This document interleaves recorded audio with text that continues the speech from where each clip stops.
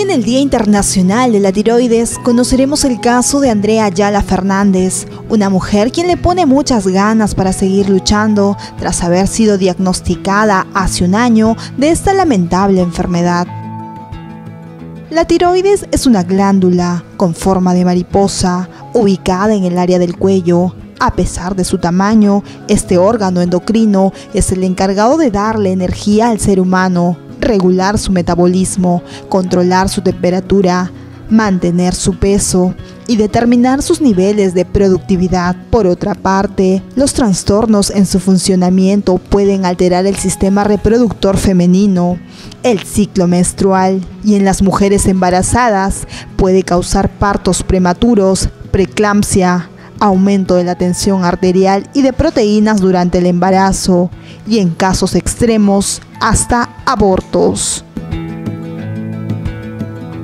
Esta mujer, a quien la vemos sonriendo, el 7 de noviembre del año 2017 fue operada de la tiroides, pero pese a ello, ella ya presentaba la enfermedad del cáncer a la tiroides. En mayo del año pasado, a consecuencia de que mi madre no cargó ahí, quería, no, hazte ver, hazte ver, hazte ver.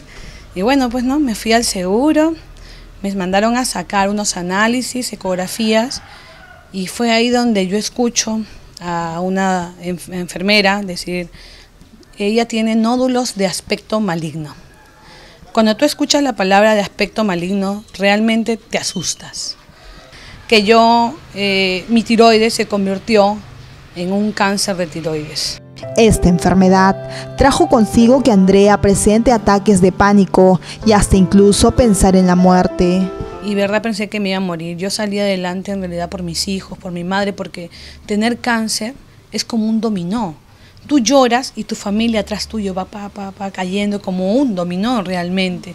Pero si tú estás fuerte, ¿no? Si tú te crees en fe, te creas en fe, te, te en realidad te, te pone, te motivas, ¿no? que esto no sea para caerse, sino para motivarse, en realidad te da mucho chance a seguir viviendo. Dicen que mente sana, cuerpo sano.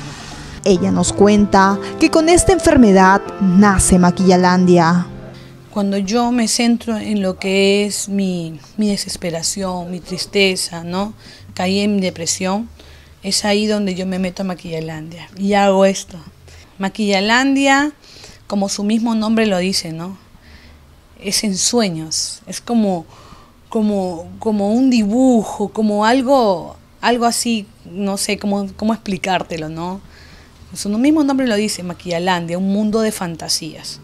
Su fe hizo que Andrea dejara esos malos pensamientos y pensara en su familia, en sus tres hijos, su madre y esposo, ya que desde su diagnóstico solo le dieron tres meses de vida y hoy gracias a su perseverancia y sobre todo su fe, ella continúa luchando y trabajando sin pensar en la muerte. Estás sufriendo por un cáncer, llénate en fe. Llénate en fe, reza, ora, ora, lee la Biblia, no importa el camino, la cosa es llegar a Dios. Siempre, siempre. Él es el único que te va a fortalecer y créeme, a mí me dieron tres meses de vida, ya tengo un año y estoy mejor que nunca.